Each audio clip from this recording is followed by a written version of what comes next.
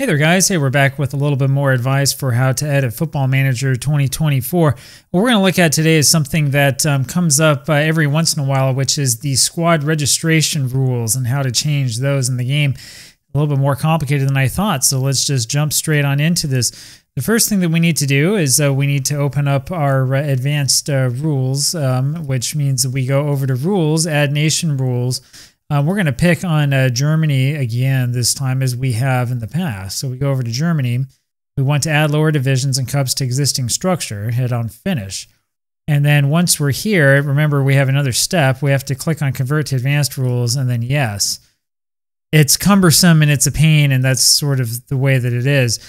Once you've done that, the next thing you need to do is you need to go to the competition that you want to change. So we're going to go over here to uh, Bundesliga there we go. Go through the drop down.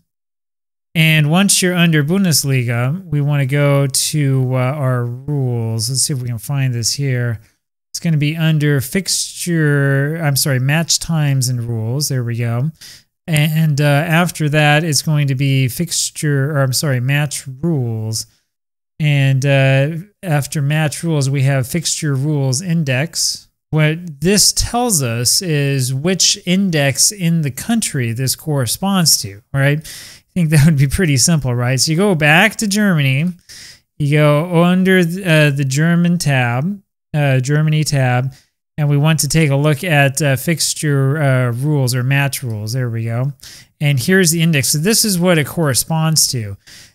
I consider this to be kind of an odd way of um, arranging all of this, but uh, basically every single thing in Germany that corresponds to match rules three have their rules found here. And this is where you'll get the highest division level, lowest division level, all this stuff. Use team numbers, yes or no, um, and so on and so forth. Now you can click into that.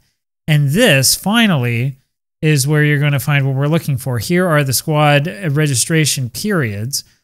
So you can change this to have different registration periods. You can uh, change all sorts of interesting things in here squad registration, date range, and things like that. And uh, you can also change your squad selection rules, which are rules such as certain numbers of homegrown players. You can uh, rule make a rule about, say, under 18 or under 19 players in the squad. You can make rules about the starting 11 or the playing 11, rules about the bench, rules about the overall squad rules, um, so uh, the composition of their overall squad and so on. You can make rules about the number of loan players you can have in a season, number of loan players out you can have in a season, and um, you can also make a couple of adjustments to the rules. For example, Chinese naturalized players in squad count as Chinese, which is interested, uh, interesting. Um, this is mostly for uh, Chinese teams, I believe. Hong Kong uh, Macanese or Chinese Type A players don't count as foreign um, and uh, players in the match squad also don't count as foreign. Um, so there's a whole bunch of stuff that you can find here to change. Now, if you're looking at changing more of what's going on here, you can move to some of these other rule sets. And you can see, at least here in Germany, as it's set up, um, it tells you um, what uh, the rules correspond to. So this is the uh, regional league, first division. There's regional 2013, which I suppose is an older form of the rules. Uh, here are the rules for under 19 squads, and so on and so forth. And so you could um, change this around if you really wanted to. Um, this is what same nation players in match squad.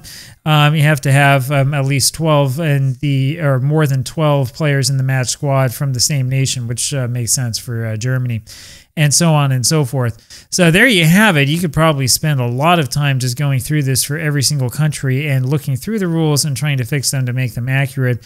Or if you're trying to make your thing up yourself, you can create your own nation's nation full of rules, make a few changes here and there, and uh, see what happens there you have it. That's the way that you get to those uh, squad selection rules and match uh, selection uh, rules and so on.